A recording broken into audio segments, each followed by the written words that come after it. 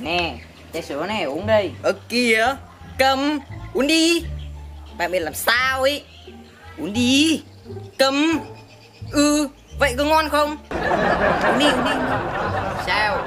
Bọn mày thấy tao pha chai sữa ngon không? Cũng ngon nữa Nhưng mà không ngon bằng của Tân Chị Châu đâu Cái gì? Thằng Tuấn chị Châu mày nói chai sữa ngon hơn tao á à?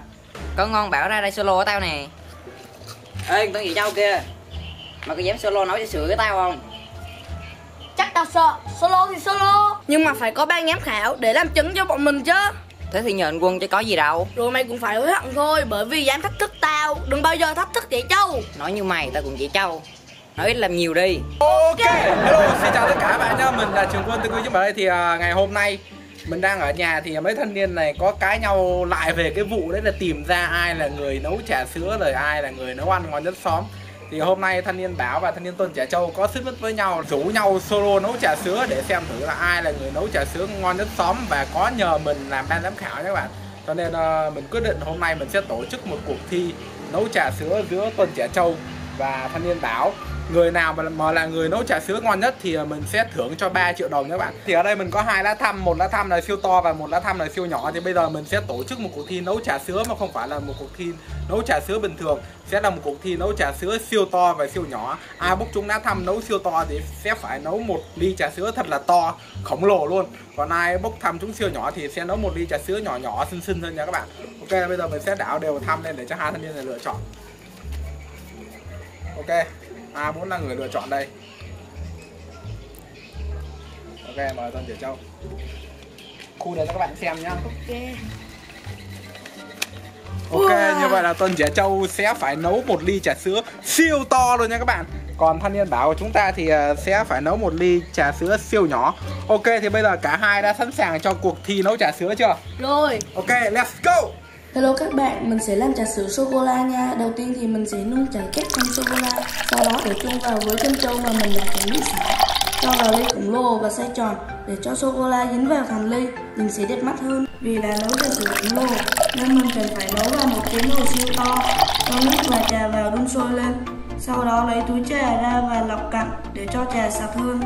Sau khi đã làm sạch nước trà Mình cho vào hai bịch bột kem béo 1 kg đường một hộp sữa đặc. Lấy đồ lên và để nguội Sau khi trà sữa nguội thì mình đổ vào ly khổng lồ. Như vậy là mình đã có một ly trà sữa sô-cô-la khổng lồ rồi. Để tăng thêm độ ngon khi uống trà sữa thì mình sẽ làm thêm một món khai vị cho ban giám khảo. Bước 1 mình sẽ bắt nước và luộc thịt chung với hành tây và rượu để khử mùi hôi của thịt heo. Khi thịt vừa chín tới mình lấy ra để ráo và ướp chung với dầu mè xì dầu, tiêu bột và một chút hành băm. Khoảng 10 phút nha các bạn.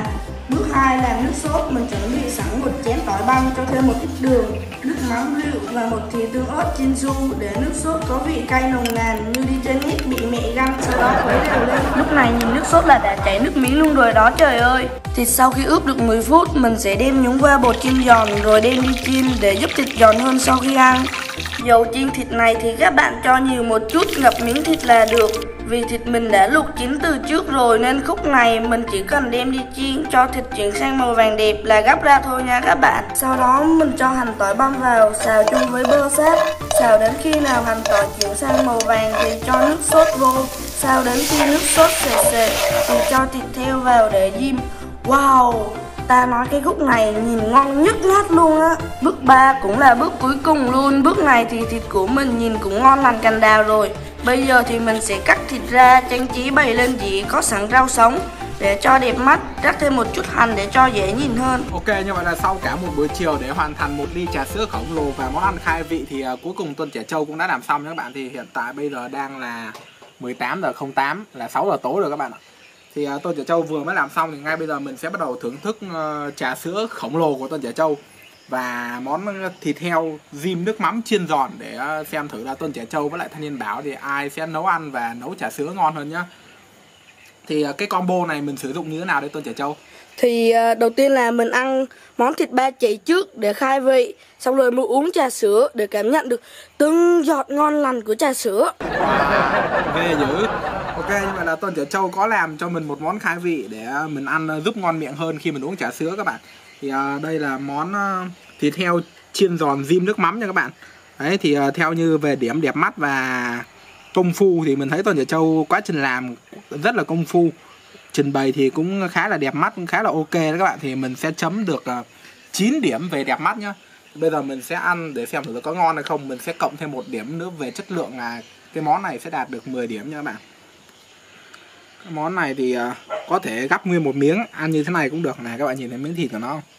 Cái phần ngoài của nó nhìn khá là giòn luôn á. Uhm.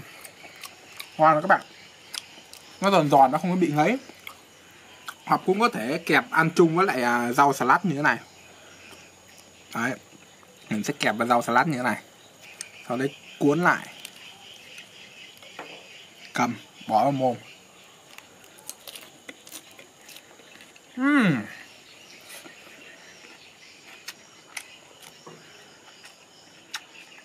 mười điểm nha các bạn. Quá là ngon luôn. Mình tranh thủ mình ăn thêm một miếng nữa.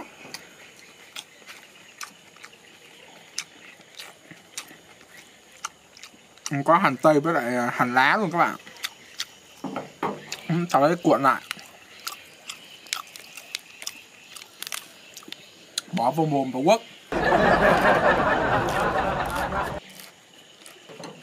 ly trà sữa khổng lồ của tuần Trẻ Châu để xem thử như thế nào nhá. Trà sữa này là trà sữa sô cô la nhé các bạn. Đây, các bạn có thể thấy nó khá là to luôn. Bộ dù mình ôm rồi gọi là khá là nặng luôn đó đấy, bằng người mình luôn này.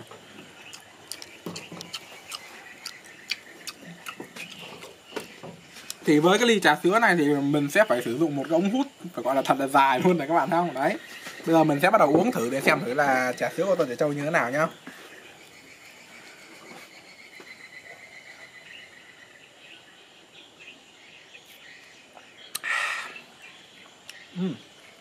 Cái vị trà vừa phải nó không bị đắng, có một chút nhẹ hương vị sô cô la chứ không có bị sô cô la quá nhiều, không có bị ngấy. Nói chung là hài hòa. 9 trên 10 điểm nha các bạn.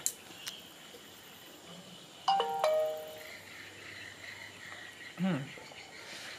Khá là ngon luôn đó. Thì để công bằng thì mình sẽ mời ờ, một ờ, người khác vào uống và ăn để chấm điểm nhé mời em lộc.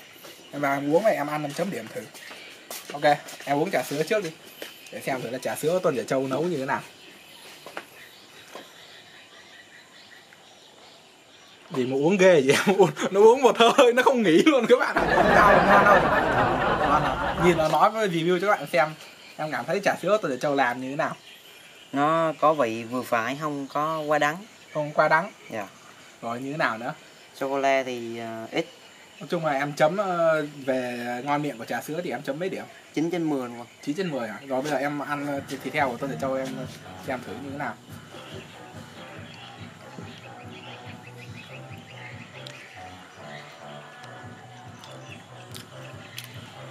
À em thấy thịt heo, món thịt heo này thì như thế nào? giòn giòn béo béo À. Quất thêm một miếng trà sữa nữa em Trà sữa ngon đúng không? Dạ. Trà sữa nếu mà nếu mà nói thì trà sữa ngon hơn thịt đó Ok các bạn, bây giờ là phần thi của mình nha. Thằng Tuân chỉ trao tuổi gì với mình? Mình sẽ làm trà sữa matcha nha các bạn. Ở đây mình đã mua sẵn một bịch matcha rồi giờ chỉ có việc pha chế thôi. Đổ chai sữa vô pha với nước nóng và đường. Ui dồi ôi. Chết mẹ ơi do mình làm trà sữa siêu nhỏ nên ly của mình nó cũng nho nhỏ, dễ thương thôi nha các bạn. Ok, vậy là mình đã có một ly trà sữa matcha nhỏ rồi. Quá dễ thương đúng không các bạn? Tiếp theo mình sẽ làm thêm một món khai vị để ăn cùng với khi uống trà sữa của mình. Đầu tiên mình sẽ cắt thịt ba chỉ thành những lát mỏng. Sau đó ướp cùng với một muỗng dầu mè, xì dầu, ớt bột bột năng sau đó đem ướp khoảng 30 phút rồi đem ra nướng trên chảo trong dính không cần dầu đâu nha các bạn. Món này khá đơn giản dễ làm còn ngon nữa mọi người cũng nên thử đi nha. Món này mà kịp ăn chung với rau sống thì nhất nách. Ok các bạn ạ, như vậy là Thanh Niên Bảo đã hoàn thành xong phần thi của mình. Thì uh, Thanh Niên Bảo gồm có đấy là thịt ba chỉ chiên không uh, dầu áp áp chảo nha các bạn. Đấy. Và đây là trà sữa matcha siêu nhỏ của Thanh Niên Bảo. Đấy, Thanh Niên Bảo làm khá là nhỏ, không có to bằng con trẻ trâu Thì ở đây Thanh Niên Bảo có chuẩn bị cho mình sẵn một cái ly đá Để khi nào mình uống thì mình sẽ cho đá vào uống để cho nó mát các bạn ạ. Thì bây giờ mình bắt đầu uống thì mình sẽ cho đá vào luôn nhá. Ok, mình sẽ cho đá vào trong cái ly trà sữa matcha này. Nói chung là ly trà sữa matcha này nhìn cũng đẹp đấy các bạn. Ok, thì bây giờ mình sẽ thưởng thức cái món thịt ba chỉ của Thanh Niên Bảo trước. Sau đấy thì mình sẽ uống trà sữa. Thanh Niên Bảo bảo, với mình như vậy Để ờ, cảm nhận được vị ngon của trà sữa các bạn ạ. Ok, thì ờ, cái món này thì ờ, mình sẽ cuộn với lại rau sống như thế này này các bạn. Đấy xong kẹp lại. Kẹp lại như thế này. Bỏ mồm ăn.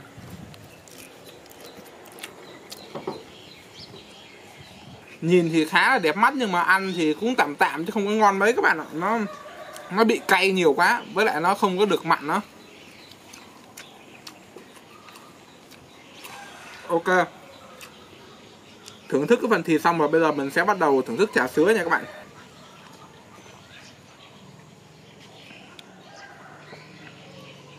Bảo ơi. Em Dạ. lại, em lại Sao cho anh? em hỏi đây đây là trà sữa gì vậy em? Dạ trà sữa matcha. Trà sữa matcha hả? Thế Dạ. mà mình cứ tưởng là nước đường matcha các bạn này em uống thử coi này em thấy sao? Ngon. Lọc vô đây em. Ok lọc vô đây. Đó bây giờ lọc uống coi thử là trà sữa này nó như thế nào. Em thấy sao uống là cái sống nước nước đường không? Giống luôn. Nó ngọt lị im đúng không? Thanh niên bảo nấu trà sữa matcha làm sao mà nó ngọt lị im luôn các bạn ạ. Toàn vô đây em. Đây để cho công bằng thì mình sẽ để cho nhiều người uống và chấm điểm nha chứ không có thanh niên ờ, bảo nó cứ khen là nó nấu ngon các bạn ạ. Đây em uống thử đi. Coi thử như thế nào? À, em thấy sao em là một cái người mà thích uống nước đường mà em uống này vô thì em không dám uống đường. Uống xong tiểu đường luôn đúng không? Uống xong có tiểu đường uống xong đái đường. Các bạn như vậy là đã kết thúc cái cuộc thi nấu trà sữa siêu to và siêu nhỏ của thanh niên Tuần Trẻ Châu và thanh niên Bảo. Thì bây giờ sẽ là phần chấm điểm để quyết định ai sẽ là người giành chiến thắng nhá. Thì à, em toàn em chấm Tuần Trẻ Châu với lại à, thanh niên Bảo thì ai là người giành chiến thắng anh à, em à, nghĩ là tôn chị châu sẽ giành chiến thắng. Tuần Trẻ Châu giành chiến thắng. Em bây giờ em quyết định em chấm điểm luôn chứ em đừng cứ nghĩ bây giờ em em cảm thấy ai nấu ngon hơn ai nấu công phu hơn thì em chấm người đấy thắng thế thôi. Ra là tôn chị châu là được à, 9 trên 10 điểm. 9 trên 10 điểm. Cho nên em quyết định là Tuần Trẻ Châu giành chiến thắng Tuần Trẻ Châu giỏi hơn thanh niên Bảo đúng không? Ok thì à, mình chấm là cũng là Tôn Trẻ Châu giỏi hơn thanh niên Bảo nhá. Tại vì thanh niên Bảo ờ, nấu gặp một chút lỗi kỹ thuật đấy là đổ đường đổ quá tay các bạn làm cho trà sữa nó khá là ngọt luôn. Còn thịt thì cũng không gọi là ngon mấy. Còn à, Lộc thì em chấm ai thắng hả Lộc? Dạ em chấm là Tân. Tôn Trẻ Châu Dạ. Ok như vậy là Tôn Trẻ Châu đã là người giành chiến thắng tại vì Tôn Trẻ Châu nhận được 3 phiếu luôn. Thì bảo em chấm ai thắng em? Em thắng chứ. Bảo nó chấm nó thắng các bạn. Nhưng mà nó chỉ có một phiếu thôi Còn Tôn Trẻ Châu được tận 3 phiếu cơ. Vì vậy mình quyết định Tôn Trẻ Châu sẽ là người giành chiến thắng Và sẽ nhận được ờ, 3 triệu đồng nha các bạn Ok thì ở đây là cái mức tiền thưởng mà mình đã nói ở đầu clip. Thì mình sẽ trao cái số tiền này cho Tôn Trẻ Châu. Chúc mừng Tôn Trẻ Châu. Ok thì clip của mình cũng sẽ dừng lại ở đây nhá. Nếu các bạn thấy video hay thì đừng quên nhấn like, share, chia sẻ, đăng ký kênh ủng hộ cho mình nhá. Còn bây giờ thì bye tất cả các bạn và hẹn gặp lại các bạn ở các clip sau. Bye.